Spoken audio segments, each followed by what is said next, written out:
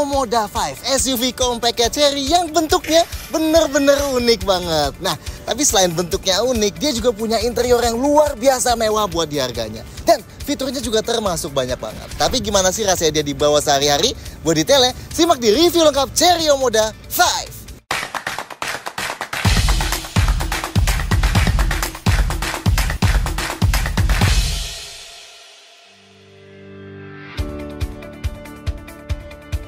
Satu, varian dan warna. Omoda 5 ini tersedia dalam dua pilihan variannya, Z yang rendah dan RZ yang lebih tinggi. Dan yang menarik harganya tuh ya, yang paling mahal aja cuma 400 juta. Kalau kalian udah lihat langsung luar dan dalam mobilnya, itu nggak bakal nyangka deh harganya cuma segitu.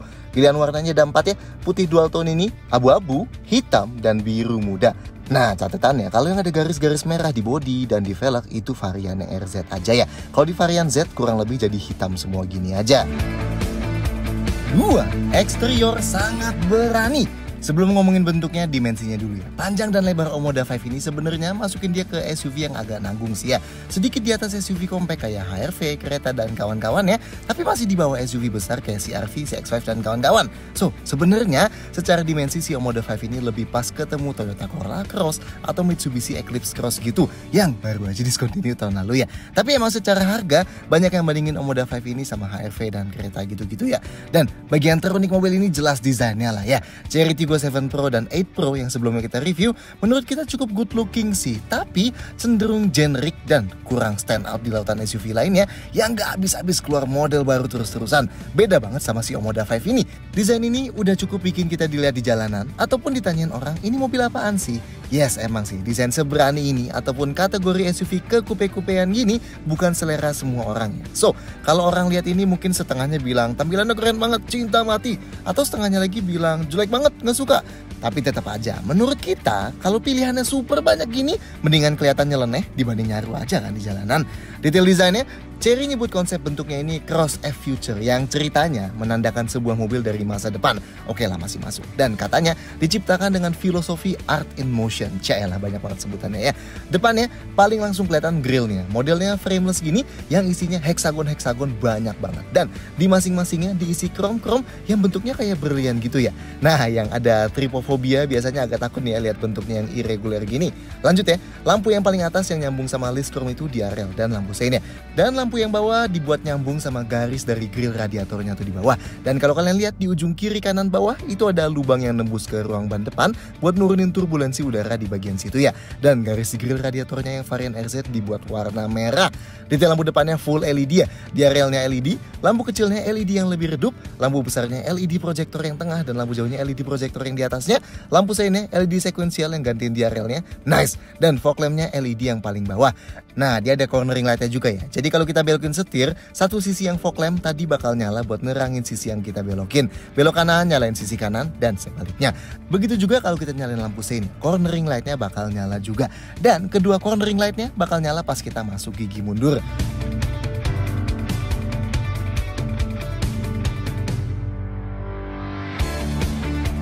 Sampingnya Nah langsung kelihatan nih kas SUV ke kupe-kupean. Bentuk atapnya yang nukik cukup tajam sampai ngebuat kaca belakangnya jadi cukup landai ya. Nah di Omoda 5 ini yang bikin unik juga lekukan list yang di jendela pilar C-nya kayak naik gitu ya. Oh dan khusus varian RZ ada merah-merah di sekujur bodinya juga.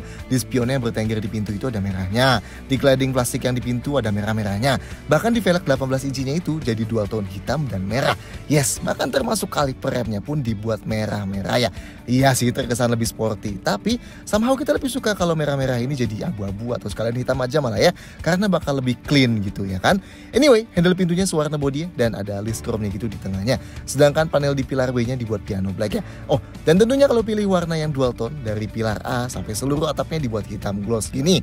Belakangnya, nah ini bagian favorit kita nih. Sama yang menurut kita paling gak kontroversial. Bentuknya super tajam-tajam dan kesan pendek kupenya emang ngasih pesona cantik ke si Omoda 5 ini ya. Dari lampunya dulu dibuat full nyambung ya dengan logo tulisan cherry di tengahnya. Dan kalau kalian lihat isi lampu rennya, keren ya. Dia kayak dibuat ketiga dimensian gitu pas nyala-nyala. Spoilernya dibuat kayak ada dua ya, yang atas hitam dan yang bawahnya merah gini.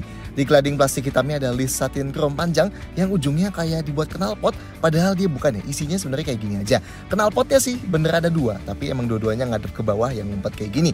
Dan di panel tengahnya dikasih abu-abu yang ada housing fog lampnya ya. Detail lampu belakang juga full LED ya. Lampu malam LED ketiga dimensian itu, lampu remnya juga, lampu sene LED sekuensial juga kayak yang di depan, mantap. Ada fog lamp LED di tengah bawah, lampu mundurnya LED dan lampu nomor platnya juga LED.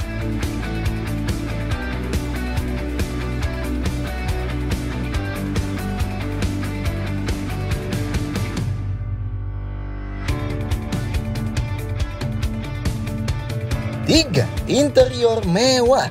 Kalau luarnya mungkin ada yang suka banget, ada yang nggak suka banget juga. Dalamnya Omoda 5 ini mungkin semua setuju. Kalau ini kelihatan mewah. Desain dashboardnya simple emang, tapi sangat ninggalin kesan mewah yang biasanya nggak ditemui di mobil harga segini. Kayak panel panjang yang nyambungin dua layar 10,25 inci itu misalnya. Atau garis super panjang yang memanjang itu dan nyambungin semua ventilasi AC depan jadi kelihatan seamless. Omoda 5 juga pakai model konsol tengah tinggi gini ya, yang artinya ada storage cukup besar di bawahnya yang bolong gini nih kalau mau naruh barang lebih banyak. Yang asik ada ambient lightnya juga. Di dashboard kiri posisinya agak unik ya di panel piano blacknya dan dia dibuat bermotif garis-garis melengkung gitu. Dan khusus yang di sini dia bisa ada gerakannya tuh dari kiri ke kanan dan sebaliknya. Terus di pintu juga ada garisnya gini dan di cup holder depan tengah juga ada. Dan tentunya ambient light ini bisa kita mati nyalain dari head unit, bisa di set brightnessnya dan pilihan warna juga ada banyak banget gini ya. Nice. Atau bisa di set nyala ikutin beat music juga. Pemakaian bahan dashboard termasuk cukup oke. Paling atas ada bahan soft touchnya gini yang lebar dan di bawahnya ada garis ala metal yang panjang dan di bawahnya lagi piano black. Meski sayangnya piano black panjang ini gampang banget ngecap dan cepet lecet juga ya karena dia dijadiin kontrol kapasitif juga. Termasuk setirnya ya. Yes, emang dia dilapis kulit dan logo cherry di tengahnya udah pakai model yang baru. Tapi spokes di kiri kanan ini banyak banget bahan piano blacknya yang bisa ngecap jari kita juga kalau kita pegang. Oh, dan bagian belakang panel head unitnya ini masih agak kurang ya build quality-nya. Yang asik sih bahan yang di konsol tengah sini. Selain modelnya tinggi, dia kayak pakai bahan ala brush metal gitu dengan warna copper di pinggirnya. Dan di yang bagian miring wireless charger itu dikasih bahan blue. Plus yang di sekitar tuas transmisinya pakai satin chrome. Feelnya super mewah sih yang di tengah sini ini. Joknya keren nih bentuknya. Jok depannya pakai model semi bucket yang headersnya dibuat terintegrasi gini. Jadi kelihatan sporty-sporty mewah gitu ya, kayak yang dipakai di MG HS atau bahkan di Porsche Porsche gitu. Not bad lah. Supportnya juga kelihatan tebal banget. Varian RZ bahan joknya dilapis kulit sintetis gini nih. Warnanya hitam tapi pinggirnya pakai jahitan plus tubing koper-koper gitu ya, kayak di konsol tengahnya juga. Dan bahkan di sekitar tombol pengaturan joknya dilapisin bahan ala metal dan sekitarnya piano black gini. Sedangkan ini jok belakangnya sekilas emang nggak ada yang spesial tapi kelihatannya Support yang kiri kanannya pun masih kelihatan tebal dan headrest yang kiri kanannya juga dibuat lebar gitu. Oke lah bentuknya. Pintunya bentuknya nggak dibuat aneh-aneh, tapi panel pemisah per bahannya dibuat banyak tuh ya layernya. Yang depan paling atas ada plastik yang high quality mulus ini, di bawahnya ada panel hitam brush dan garis koper, di bawahnya plastik yang titik-titik ini, di yang sandaran tangannya ada lapis kulitnya dan paling bawahnya plastik lagi. Pintu belakangnya juga persis kayak gitu ya, paling atasnya plastik yang halus, bawahnya panel hitam brush dan garis koper, bawahnya plastik titik-titik dan di yang sandaran tangannya ada lapisan kulitnya. Detail yang di dalam, lampu kabinnya di depan ada dua nih LED gini, tapi nyalanya barengannya. Dan di belakang ada satu lagi di tengah LED juga. Backlightnya ada di semua pertombolannya, termasuk yang di pintu driver sini juga komplit semua ada backlightnya. Dan bahkan tombol di plafon juga ada. Dan USB port khusus yang di depan bawah sini ada backlightnya juga. Pedal gasnya pakai model organ pedal gini kayak di mobil Eropa nih ya. Sun visornya yang kiri dan kanan ada card holdernya di dalam dan ada kaca yang bisa ditutup buka plus lampu LED-nya. Nice. Pegangan tangan plafonnya yang di depan hanya ada di sisi penumpang aja, di driver nggak ada. Dan yang belakang tetap pakai model lipat gini. Di kanan dan kiri sama-sama ada gantungan bajunya ya. Oke, rasa duduknya. Buat masuk ke dalam, pintu depannya berat banget nih. Nice ya premium feel-nya. Sudut bukanya juga lebar dan pintunya ngecover fullnya sampai paling bawah gini. Jadi kalau luarnya kecipratan kotor, dalamnya sini nggak bakal kena kotor. Jadi kaki kita nggak bakal kepeperan. Mantap! Buat napaknya termasuk cukup tinggi nih ya, tapi masih gampang. Oke, posisi duduknya pas jok drivernya kita set paling rendah, kasnya SUV-SUV monocoque sih ya. Cukup tinggi buat ngasih visibilitas naik gitu, tapi nggak sampai tinggi lebay kayak di SUV leather frame. Dan dibanding SUV Cina yang lebih populer di sini, Wuling Almas, di sini posisi duduknya lebih ergonomis ya. Visibilitas ke depannya termasuk bagus sih, kap mesinnya kelihatan ya lekukannya. Dan visibilitas ke sampingnya, karena pilar A landai gini sebenarnya sih agak kehalang. Tapi enaknya karena spionnya di pintu dan ada kaca tambahan, jadi masih cukup kebantu lah ya.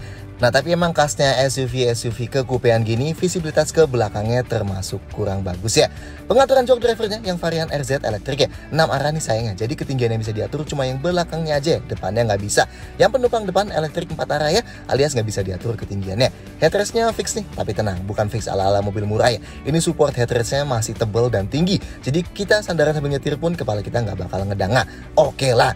Nah yang agak masalah headroomnya nih, yang sedikit banget sisanya. Kepotong banget sama si sunroofnya ini ya. Belum lagi atapnya dia pendek kan. Ini berasa banget nih. Kalau misalnya kalian pengen stretching tangan ke atas gitu, atau pengen nengok tinggi keluar gitu ya, itu lebih gampang kejedot kepalanya. Ya salah satu trade-offnya SUV kekupean gue gini lah ya. Buat sandaran tangan di tengah ada konsol tengah yang tinggi gini, bagian belakangnya dilapis kulit ya jadi empuk. Dan karena ini dia rata sampai ke depan, jadi kita bisa sandarin tangan sambil pegang setir. Yang di pintu buat sandarin tangannya dilapis kulit juga, tapi emang agak kurang empuk ya. Seat beltnya bisa diatur naik turun, setirnya selain tilt bisa teleskopik juga yang jauh banget ya. Nice. Dan buat sandaran kaki kiri driver ada gundukan tapi nggak ada pet plastiknya ya. Sekarang kita ke belakang. Pintu belakangnya sedikit lebih ringan dibandingkan depan, tapi masih termasuk berat ya. Sudut duduknya juga nggak selebar yang depan nih. Dan karena atapnya ini nekuk banget, jadi pas masuk kepala kita harus agak nunduk ini ya. Nah, posisi duduk kita lebih tinggi dibanding di depan nih. Tapi coba lihat, dudukan joknya ini emang kurang tinggi ya. Jadi kita yang tingginya 170-an cm, sudut kakinya bakal agak naik kayak gini. No problem memang buat perjalanan singkat. Tapi kalau buat jalan jauh udah pasti bikin orang yang tinggi jadi lebih pegel. Kecuali yang duduk di sini di bawah 160 cm gitu misalnya ya. Ruang gerak sepatunya juga sayangnya agak Karena di ujung lantainya sini ada gundukannya. Dan ruang kolong di bawah jok depannya juga emang agak sempit ya. Jadi kalau kita mau full selonjoran ke depan pun kakinya nggak bakal bisa. So agak sayang ya. Jok ini fix nggak bisa digeser maju mundur, tapi ruang kakinya sangat-sangat aman, masih termasuk luas ya. Oh bentuk jok bucket depan ini emang bikin visibilitas ke depan dari belakang sini agak berkurang ya. Untungnya gap ruang di tengahnya masih cukup luas. Headrest ketiga sisinya adjustable ya, nice. Nah ruang kepalanya di luar dugaan kita nih, meskipun atapnya rendah, tapi masih ada sisa ruang kepala gini yang cukup aman loh. Kok bisa? Well salah satunya ya karena dudukan joknya tadi yang dibuat lebih rendah.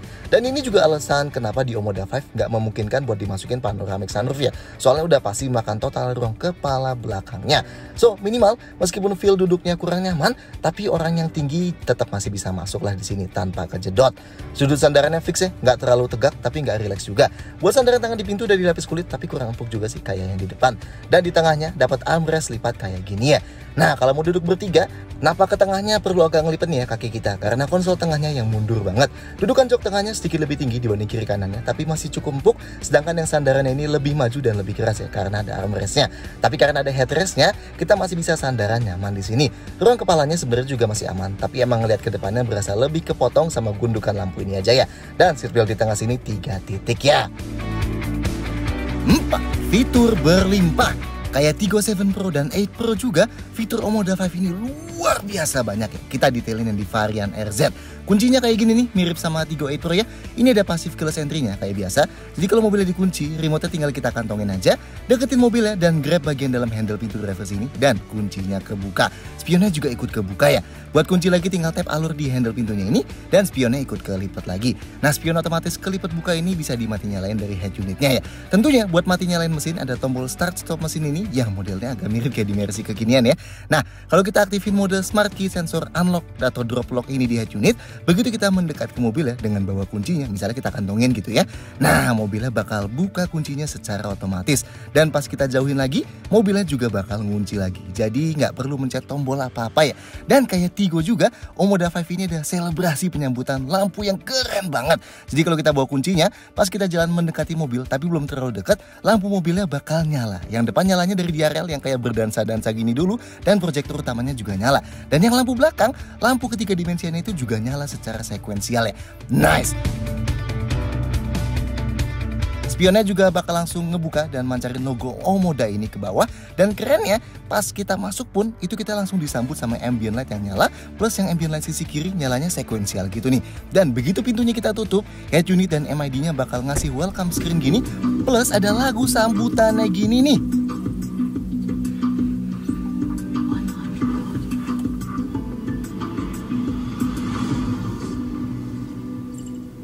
Gila ya, masuk mobil aja selebrasinya panjang banget. Super nice. Belum selesai dari kunci ya. Kalau kita tahan tombol unlocknya dari luar, nanti semua jendelanya bakal kebuka. Ini fungsinya buat buang udara panas di dalamnya. Dan kalau kita tahan tombol lock lagi, nanti semua jendelanya juga bakal nutup lagi. Ada fitur remote start engine juga nih buat nyalain mesin dan AC mobilnya dari luar. Jadi kita kunci dulu mobilnya, terus kita klik dan tahan tombol remote start ini selama 5 detik dan nanti mesinnya bakal nyala. Nah meskipun mesinnya nyala, tapi mobilnya masih kekunci ya. Jadi kita tetap butuh bawa kuncinya buat bisa masuk ke kabinnya. Dan pas masuk, AC-nya udah langsung nyala di mode auto nih.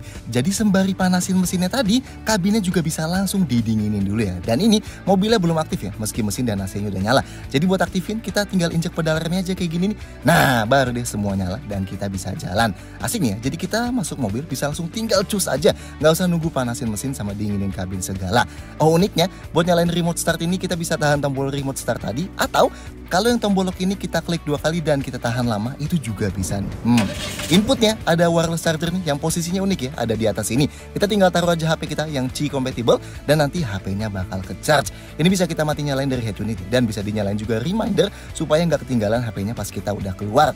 Di lubang yang di bawah konsol tengah, di sebelah kiri ada satu USB port Type C dan satu Type E. Di sebelah kanan ada satu power outlet. Di belakang spion tengah ada satu USB port. Ini biasanya buat dashcam nih ya. Di kabin belakang ada satu USB port Type E dan di belakang ada satu power outlet. Mantap! Di dalam laci konsol tengahnya ada pendinginnya nih. Ini bypass dari AC yang bisa kita tutup buka ya. Dan kalau kita buka cup holder ini di tengah sini, kita bisa masukin gelas panjang yang bagian bawahnya jadi bisa kena dingin. Keempat jendelanya auto up down ya, nice. Lampunya otomatis nih, ada pengaturan ketinggian sorotan lampunya juga. Yang uniknya dilakuinnya dari head unitnya ya. Dan ada follow me home yang kalau kita matiin mesin mobil, turun dari mobil ya, dan kunci mobilnya, lampu besarnya bakal nyala beberapa saat buat terangin jalan sekitar ya. Wipernya juga otomatis, nice. Setir sebelah kanan ada buat atur volume, teleponi, dan voice command. Sedangkan yang setir kiri buat atur MID, speed limiter, dan adaptive cruise controlnya. Ada rem parkir elektrik ya, tinggal tekan sambil injek rem buat nonaktifin dan buat aktifin lagi, tinggal tarik aja. Dan ada brake hold juga yang kalau diaktifin bisa nahan remnya pas kita berhenti. Ini fungsinya biar pas kita berhenti agak lama kayak di macet atau lampu merah, itu kita nggak perlu nahan pedal remnya sendiri kelamaan ya. Dan buat lepas lagi remnya tinggal injek lagi aja pedal gasnya. Spion tengahnya auto dimmingnya alias menggelap sendiri kalau kena silau. Ada sunroof nih, bukan panoramic sunroof sih karena yang tadi kita bilang udah pasti bakal makan ruang kepala belakang tapi cukup oke okay lah. AC-nya dual zone auto climate control alias suhu depan kiri dan kanan bisa dibeda-bedain ya. Aturnya pakai tombol kapasitif di bawah ini. Yang sayangnya bikin agak sulit dilakuin sambil jalan dan bikin panel piano black ini gampang ngebekas sidik jari kita ya. Kita juga bisa langsung akses dari head unit sini nih. Tinggal slide ke bawah aja dari atas gini dan kontrolnya bakal langsung muncul. Tapi emang tetap paling optimal kayaknya kalau ada kontrol dedicated ya. Kayak di Tigo 7 Pro atau di Tigo 8 Pro gitu. Suhu paling panas 32 derajat Celcius dan paling dingin 15 derajat Celcius. Ada defroster kaca depan dan defogger kaca belakangnya. Bahkan spion kiri dan spion kanan aja ada defrosternya juga loh. Ya bisalah kepake kalau cuacanya lagi dingin banget ya. Ada filter udara PM 2,5 nih buat nyaring partikel udara yang kotor. Dan kabin belakang dapat ventilasi AC tambahan kayak gini ya, biar lebih cepat dinginin di belakang. Kontrolnya tapi tetap dari yang depan ya. Ada pendingin jok juga nih buat jok depan ya. Tiga level pendinginnya. Not bad buat dinginin bagian belakang badan kita. Meski emang sayangnya, satu-satunya cara buat aktifin ventilator Heated seats ini cuma via layar AC ini di head unit ya, yang artinya kita mesti lewatin beberapa langkah dulu. Oke, sekarang fokus ke dua layar di tengah sini ya. Cherry nyebut ini super large screen 20,5 inci, tapi aslinya bukan lah ya. Ini dua layar 10,25 inci terpisah yang masuk dalam satu frame. Yang instrumen cluster dulu, layarnya full digital nih ya, dan ada tiga tema yang bisa dipilih dari head unit sini. Yang tema pertama yang disebut fashion ini. Yang kedua, streamer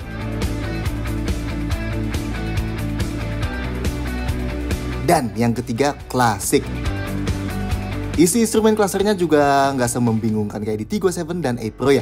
Kontrolnya pakai tombol di kiri setir sini nih. Menunya yang di tengah ada trip meter A sekaligus konsumsi bahan bakar dan kecepatan rata-ratanya trip meter B dengan data yang sama, konsumsi BBM instan dan TPMS. Terus kalau geser ke kanan ada settings buat atur alarm pengingat capek berkendara, buat settings pengingat servis, dan geser ke kanan lagi ada layar media, geser ke kanan lagi ada layar buat detail fitur ADAS-nya head unitnya.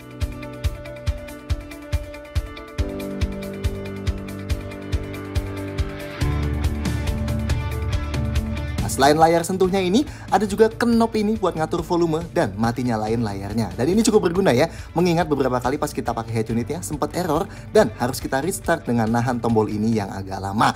Plus ada tombol home tapi kapasitif ya. Lanjut, ada wireless Apple CarPlay. Jadi kita bisa sambungin iPhone kita tanpa kabel gini dan nanti bisa buka interface gini buat buka Apple Music, Spotify, Google Maps, Waze, dan lain-lain. Dan ada wireless Android Auto juga ya kalau mau sambungin HP Android kita tanpa kabel. Mantap! Lanjut, menu picture ini buat buka foto-foto dari USB, phone buat Bluetooth teleponi, media lain yang bisa diputar ada dari Bluetooth, USB, dan storage internalnya. Sistem update ini buat update software langsung dari mobilnya, ada buku manual mobilnya juga, dan buat buka video, ini ada juga buat buka kamera 360 derajatnya ya.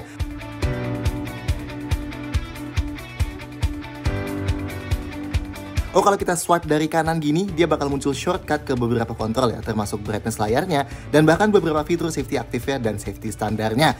Nah, vehicle settings ini buat settings yang lebih spesifik ke mobilnya ya. Di menu smart key bisa buat mati nyalain welcome light function yang buat nyambut kita pas buka kunci, mati nyalain fungsi bagasi elektrik yang kebuka otomatis pas dideketin, dan fungsi approach unlock dan walk away locknya. Di lighting settings ini ada buat mati nyalain volume home, auto high beam, dan atur ketinggian sorotan lampunya. Terus di driver assistant settings ini isinya semua pengaturan sistem safety aktifnya yang bakal kita jelasin lengkap di nomor habis ini ya. Menu personalized settings ini buat atur ambient lightnya, buat atur spion lipat elektrik otomatisnya, ketinggian buka pintu bagasi ya, dan wireless chargingnya. Dan air conditioning settings ini ada fitur auto cockpit cleaning, bakal otomatis nyalain AC beberapa saat sekali buat keringin cairan di dalam mobil supaya menghambat perkembangan jamur ya. Ada auto cockpit ventilation buat otomatis keluarin gas pas kita buka kunci mobilnya, dan custom air conditioning mode ini buat ngubah kekuatan distribusi angin AC-nya ya. Local settings ini buat atur settings yang lebih ke head unitnya, kayak Bluetooth, Wi-Fi, atur suara speed volume ini buat bikin suaranya makin kencang pas kita jalannya makin kencang dan sebaliknya. Ada settings voice, ini buat ngatur voice command-nya ya. Kita bisa custom nih mau pakai kata-kata apa manggilnya. Nah, kita cobain ya sistem voice command canggihnya. Misalnya buat ganti warna ambient light mobilnya. I'm listening. Change ambient light to red. Okay, set light color to red. Terus buat atur AC, I'm listening. set the temperature to 20 degrees Celsius. Got it. Setting the temperature in all areas to 20.0 degrees. Dan buat buka pintu bagasi. Hello Siri, Yes, I'm here. open lift gate. Got it. Opening the lift gate. Sebenarnya masih banyak lagi sih yang bisa dilakuin sama sistem voice command ini. Coba cek deh di video Tigo 7 atau 8 Pro kita, mirip-mirip kok yang bisa dilakuin. Head unitnya sebenarnya udah komplit sih, tapi komplain kita paling lebih ke pengoperasiannya aja yang termasuk agak lambat ya, masih agak sering nge-lag gitu. Oke, sound systemnya dari Sony nih ada 8 speaker ya. Dua speaker depan dan dua tweeter depan, plus dua speaker belakang dan dua tweeter belakang. Oh iya, buat kalian yang penasaran sama pad yang di samping wireless charger ini kan ada logo kunci tuh ya. Buat apa sih? Nah ini buat naruh remote kuncinya ya, buat nyalain mesin seandainya baterai remote-nya habis. Tapi kalau baterainya masih ada sih kalian bisa pakai buat naruh apa pun. Ada juga jok depan elektrik yang tadi udah kita jelasin, dan bagasi elektrik yang nanti kita jelasin di nomor 7. Iya sih, kalau dibanding sama Hyundai Creta, di Omoda 5 ini nggak ada layanan terkoneksi internetnya. Makanya di overhead console yang di tuas sebelah kanan buat buka sunroof, ini nggak berfungsi ya. Dan lubang speaker yang di kanan dashboard ini, ini juga nggak ada fungsinya. Begitu juga dengan sunroof yang nggak semewah di HRV atau kereta. Tapi buat 400 juta dan udah dapat fitur sebanyak ini sih oke banget lah ya. 5. Safety sangat lengkap. Bukan cuma fiturnya, tapi fitur keselamatan Omoda 5 juga termasuk sangat lengkap buat di harganya ya. Varian Z dan RZ sama-sama dapat fitur safety pintar yang disebut ADAS atau Advanced Driving Assistance System. Ini memanfaatkan kamera di balik spion tengah ini dan radar di radiator grill ini ya. Pertama ada front collision warning with vehicle identification. Jadi ini buat ngasih peringatan kalau kita udah terlalu mepet sama mobil atau motor di depannya sampai ada kemungkinan bakal nabrak. Dan sensitivitasnya bisa kita ubah nih ya dari head unitnya. Ada autonomous emergency braking juga. Ini kalau tadi udah dikasih peringatan dan kita nggak nginjek pedal remnya juga, mobilnya nanti bakal ngerem secara otomatis biar kita nggak nabrak ya. Nice. Lanjut ada lane departure warning. Ini bisa ngebaca dua garis pembatas lajur ya dan bakal ngasih peringatan suara dan getaran setir kalau terdeteksi kita jalannya hampir keluar lajur gitu. Lane departure warning ini bisa aktif di atas 65 km per jam ya. Dan ada lane departure prevention juga yang kalau lane departure warningnya tadi udah aktif, ini bisa sekalian puterin setirnya biar nggak jadi keluar lajur. So kalau mau pindah lajur harus nyalain lampu sein ya. Lane departure warning dan prevention ini sama-sama bisa dinonaktifin dari shortcut head unitnya ya. Tapi masih ada satu lagi nih yang mirip juga, emergency lane keeping. Nah, karena ada nama emergency-nya, ini bisa ngedeteksi kalau mobilnya jalan di atas 65 km per jam dan hampir keluar lajur yang garisnya solid tanpa lampu sein. Atau kalau pas kita mau pindah lajur tiba-tiba ada mobil mendekat banget dari belakang gitu ya, setirnya bakal langsung dibalikin ke dalam lajur dan dikasih bunyi peringatan yang jauh lebih kencang suaranya dibanding lane departure prevention tadi ya. Dan gak kayak lane departure prevention juga, emergency lane keeping ini bakal otomatis aktif lagi tiap kali kita habis restart mobilnya meskipun udah kita matiin ya. Lanjut, ada adaptive cruise control yang selain bisa jaga kecepatan secara konstan, bisa juga jaga jarak konstan sama mobil di depan kita tanpa perlu kita injak pedal gas dan pedal remnya sama sekali. Nah, jadi misalnya nih, kita set di kecepatan 100 km per jam dan udah set jarak sama mobil di depan kita ya. Nanti Omoda 5 ini bakal ngejaga kecepatan segitu terus, kecuali di depannya ada mobil nih kayak sekarang. Kalau mobil di depan memelan, mobil kita juga bakal ikut memelan. Dan kalau mobil depan kenceng lagi, ini juga bakal ikut tambah kenceng lagi sampai kecepatan yang tadi udah kita set ya. Jarak sama mobil depannya seberapa jauh bisa kita set pakai tombol yang ini ya. Nah, adaptive cruise control ini ada low speed follow-nya. Jadi kita bisa ikutin mobil depan sampai dia berhenti ya, tanpa perlu injak pedal rem. Dan nanti kita juga bakal berhenti. Dan pas mobil di depan jalan lagi, kita bakal diminta buat toel gas sedikit aja supaya kita bisa jalan ikutin lagi. Enak nih ya, di tol gitu jadi kita bisa nggak perlu injak pedal gas dan remnya sama sekali. Nice. Ada integrated cruise assist dan traffic jam assist ya. Ini kalau kita tahan tombol yang gambar setir ini, nanti dia bakal ngubah mode adaptive cruise controlnya jadi adaptive cruise plus sejenis lane following gitu. Jadi selain ikutin mobil di depan kita, mobil kita juga bakal gerakin setir secara terus menerus biar selalu kejaga supaya kita ada di tengah-tengah lajur terus-terusannya. Nah ini jadinya kita bisa ngelepas setirnya beberapa saat dan setirnya bakal belok-belok sendiri selama belokannya nggak terlalu tajam. Tapi kalau lepas setirnya terlalu lama, nanti dia bakal muncul peringatan bunyi yang bakal hilang kalau setirnya kita lagi. Tapi kalau nggak kita pegang-pegang juga setirnya, nanti bakal muncul peringatan selanjutnya dan fungsi lane followingnya bakal mati ya. Ingat, integrated cruise assist ini beda sama lane departure ya. Kalau ini dia ngejaga mobilnya biar selalu ada di tengah lajur. Kalau lane departure baru gerakin setir mobilnya kalau udah mau keluar lajur. Jadi bener-bener enak ya kalau di jalan tol ini dikombinasiin sama adaptive cruise control tadi kita nggak perlu injek pedal gas, nggak perlu injek pedal rem dan bisa lepas setir buat beberapa saat juga. Meski emang catetan integrated cruise assist di Omoda 5 ini nggak tahu kenapa sering banget kebingungan gitu gerakin setirnya. Mungkin karena lebar lajur di jalan tol Indonesia agak kurang besar kali ya. Lanjut, ada intelligent high beam control buat otomatis nyalain lampu jauh kalau terdeteksi keadaan terlalu gelap dan di depan gak ada mobil yang berpotensi kena silau. Kalau di depan ada mobil, dia bakal berubah jadi lampu besar lagi aja. Ada car lead departure sign. Ini kalau kita lagi berhenti di belakang mobil lain dan mobil depan kita tiba-tiba jalan, kita bakal dikasih peringatan yang buat ikut maju juga. Ada blind spot detection yang bakal nyalain indikator di spion ini kalau ada mobil atau motor mendatang di sisi titik buta belakang kanan atau kiri kita. Dan kalau kita nyalain lampu sein ke situ, indikatornya bakal berkedip dan kita bakal dikasih peringatan bunyi. Ada peringatan di MID-nya juga. Dan ada rear cross traffic alert. Ini kalau misalnya kita lagi mundur dan ada objek mendatang dari belakang kiri dan kanan yang belum bisa kita lihat dari kamera, dia bakal kasih peringatan di head unit kayak gini berupa tanda panah dari sisi objek yang mendatang tadi. Dan indikator blind spot di spion juga bakal nyala ya. Oke, di luar fitur safety aktifnya, khusus varian RZ dapat kamera 360 derajat ya. Satu kamera di belakang, satu kamera di depan, dan satu di masing-masing spion. Dan ini bakal ngasilin gambar 360 derajat kayak gini nih. Dan ini kualitasnya sangat-sangat baik ya. Dan garisnya juga bakal ikut belok pas kita belokin setirnya. Dan kalau kita tekan satu bagian di sebelah kiri sini, yang sebelah kanannya bakal pindah ke kamera sisi itu. Dan ada beberapa pandangan juga ya, plus ada mode 3D yang terkesan kayak ada kamera yang muterin mobilnya. Ini bisa kita puter-puter kayak gini langsung juga nih. Mantap. Kamera ini juga bisa dibuka dengan klik tombol AVM ini ya.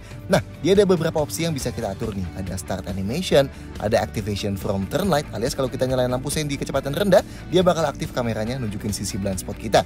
Ada activation from steering angle, jadi kalau setirnya kita belokin di kecepatan rendah, dia bakal aktif juga nunjukin sisi yang kita mau belok itu. Auto nearby view ini buat otomatis buka kamera pas kita udah mendekati objek. Door opening indication bakal ngasih animasi kalau kita buka pintu. Vehicle trajectory buat mati nyalain garis kameranya. Nah terus sensor parkirnya ada banyak ya. Di belakang ada empat titik yang terintegrasi di bumper hitamnya dan di depan ada dua titik yang sewarna body. Ini bisa kita mati nyalain dari shortcut head unitnya juga. Dan indikatornya ada di head unit juga ya. Rem depannya cakram ventilasi dan rem belakangnya juga cakram ya. Dan sistem rem ABS, EBD dan brake assistnya lengkap semua. Airbagnya ada 6, 2 airbag depan, 2 airbag samping ada di samping jok depan dan 2 airbag pilar yang memanjang. Ada traction control dan stability controlnya buat matiin ya ada di bagian shortcut head unitnya sini. Ada hill start assist yang tentunya bakal ngedeteksi kalau mobilnya berhenti di tanjakan dan bakal nahan remnya beberapa detik. Jadi pas kaki kita mau pindah dari pedal rem ke pedal gas, mobilnya nggak bakal merosot dulu. Dan ada hill descent control juga yang sembunyi di shortcut head unitnya. Ini kalau kita aktifin, sistemnya bakal ngatur gas dan remnya secara otomatis buat kita jalan secara perlahan di turunan yang curam, biar kita bisa fokus sama nyetirnya aja ya. Lanjut, di MID ada TPMS alias pengukur tekanan ban ya. Dan yang ini modelnya nampilin semua tekanannya langsung kayak gini. Ada alarm pengingat capek ya kalau udah berkendara lebih lama dari waktu yang udah kita set di MID. Dan ada overspeed alarm juga yang bakal ngasih peringatan kalau kita ngelebihin kecepatan dari angka yang kita set di head unit. Sisanya yang lebih standar sih. Ada dudukan ISOFIX buat child seat di jok belakangnya. Gimana? Lengkap parah ya?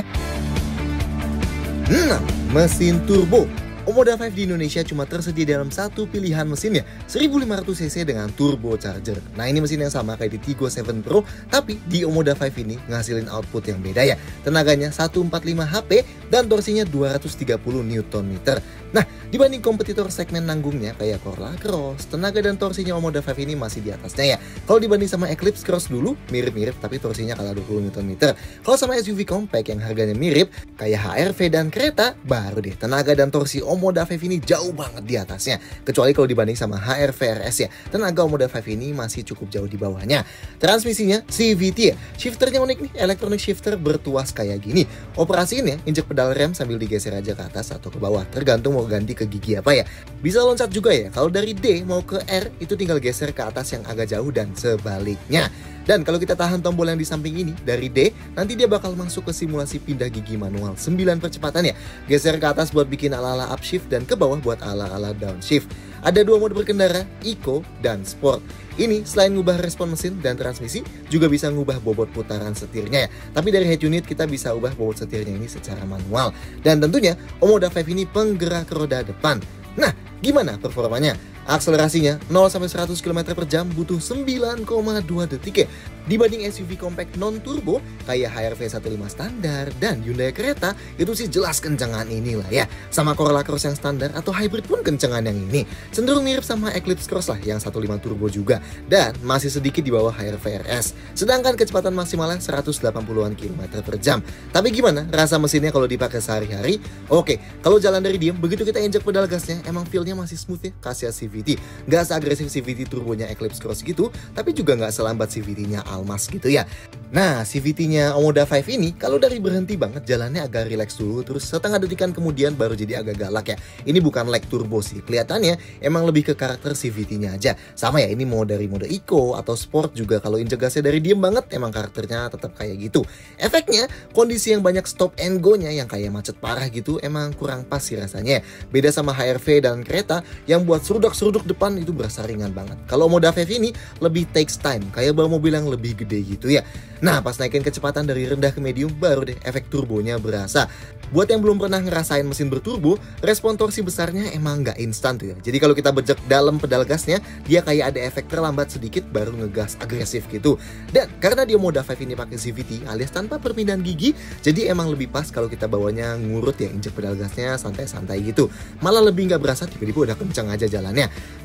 Karakter turbo dan CVT ini itu juga bikin nahan kecepatan di 100 km per jam itu luar biasa gampang ya. Relax banget cuma di 1900-an RPM aja. Paling kalau kita mau bawa lebih agresif sambil maintain kecepatan medium tertinggi itu tinggal dimasukin ke mode sport aja ya. Oh iya, CVT-nya kalau kita kick down dia sayangnya nggak niruin karakter ala-ala transmisi otomatis konvensional ya. Alias tetap ngeden di RPM tinggi terus sembari naikin kecepatan. Untungnya sih suara yang tembus ke dalam kabin nggak terlalu kasar. Makanya nggak kayak sapi ngeden banget gitu ya. Tapi emang bikin feel-nya nggak senatural di CVT kekinian kayak di HRV baru atau di kereta gitu. Apalagi kalau kalian bandingin sama torque converternya CX-3 gitu misalnya. Kalau kita masukin mode manual dari tuas transmisinya bisa sih dia simulasiin ala-ala naik gigi alias upshift gitu. Tapi rasanya luar biasa artificial ya alias buatan banget gitu kayak di CVT-nya Toyota pas awal-awal dulu. Overall sih CVT ini masih cukup oke. Dia jauh lebih baik lah dibanding CVT mobil Cina kayak di Almas atau di FSK gitu. Tapi emang belum sebaik CVT kekinian kayak di Honda atau di Hyundai gitu. Meskipun overall kalau dikombinasiin sama mesinnya, karakter di bawahnya udah cukup refine lah, not bad. Konsumsi BBM-nya gimana? Nah, yang takut konsumsinya Omoda bakal seboros mobil Cina yang lebih populer di sini, kayak Wuling Almas gitu, tenang. Omoda 5 nggak seboros itu kok. Buat rute kombinasi sejauh 300 km yang lewatin jalan tol, macet, city driving, tes performa, dan kita biarin idle selama syuting, kita dapat konsumsi 9,8 km per liter. Not bad lah. Tentunya jangan kalian bandingin sama 15 yang non turbo lah ya, kayak HRV SI atau kereta gitu. Mereka mau udah pasti jauh lebih irit. Tapi kalau kalian bandingin sama Eclipse Cross gitu, yang sama-sama pakai 1.5 turbo, si Omoda 5 ini cuma sedikit lebih boros kok. Masih cukup sebanding lah sama akselerasi yang didapat. Nah, konsumsi BBM Eco Drivingnya kita dapat 17,9 km per liter. Yang ini termasuk biasa aja ya. Mungkin karena boost turbonya udah maksimal dari 1700 rpm. Makanya kalau kita jalan konstan di 90 sampai 100 km per jam itu jadi lebih boros. Tapi overall dari konsumsi BBM pun masih not bad lah ya buat di bawah harian.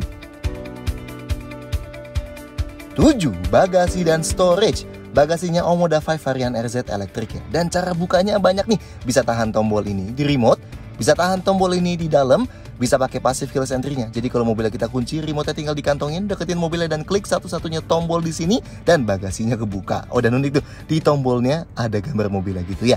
Ini semua pintu lain masih kekunci ya. Dan dua cara lagi unik nih. Yang pertama disebut intelligent open. Jadi kalau kita bawa remote-nya, kita kantongin gitu misalnya. Dan pas kita deketin bagian bagasi, setelah tiga detikan lampu seinnya bakal mulai berkedip. Nah kalau udah mulai kedap-kedip kita mundur sedikit aja ya. Nanti pintu bagasinya bakal kebuka sendiri. Ini kepake kalau tangan kita lagi bawa barang full gitu ya. Dan satu lagi yang paling unik, bisa kita buka pakai perintah suara dari dalam. Hello Siri. Yes, I'm here. Open lift gate. Got it. Opening the lift gate. Dan pakai perintah suara ini bisa sekaligus buat tutupnya juga. Hello Cherry. What's up?